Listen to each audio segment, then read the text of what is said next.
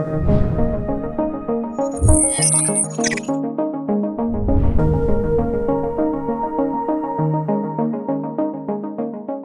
I'll just talk through sort of our approach to generative AI um, that we've taken in the business.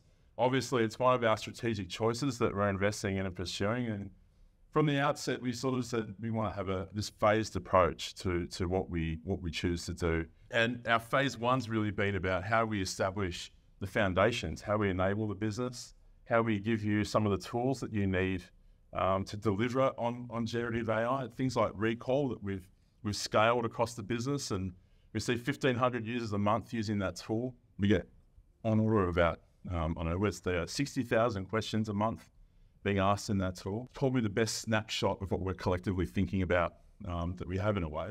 Um, so we've been rolling those things out, but we've also been building the foundational technology um, that you know we need so that we can move at pace, as Bill said, and even as Andrew said, you know, in the introductions, these next three days are around problems and our shared problems and what we can those, and how we solve those problems. We had to establish some of that foundation technology. We've done that, um, but we've brought that together, so we're able to sort of move quickly now. We can go beyond um, the chatbot, so to speak, um, and we'll show some of those solutions a little bit later on. But we are moving into phase two, which is why we're all here, and that is about building the community, building a bit more critical mass around generative AI.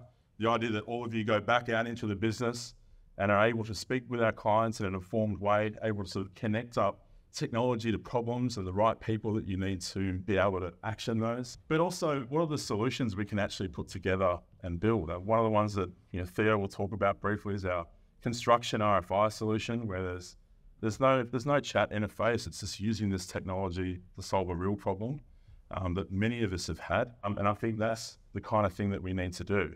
Um, and as those pilots take place, the, we move into our, our phase three, and that's how we scale those solutions and, and how we how we sort of go to market in a different way.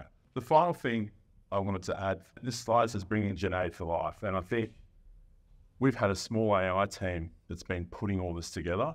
This for me is the real kickoff point of our AI strategy because it's about you know bringing all of you together. But what does it take? It actually takes all of us collectively to do this. It takes Kim with capability leaders, takes Amy, who's here somewhere, Amy with our change management program, takes Kim from automation, it takes Tristan from computational design, and Chris and Dan, who are all sort of connecting up, I guess, traditional design approaches with generative AI technology. It takes Brian and people like Scott from operations to sort of connect up. How do we deploy it? How do we go to market? I think for me, that's actually the really exciting thing about the next three days is it's the confluence of different people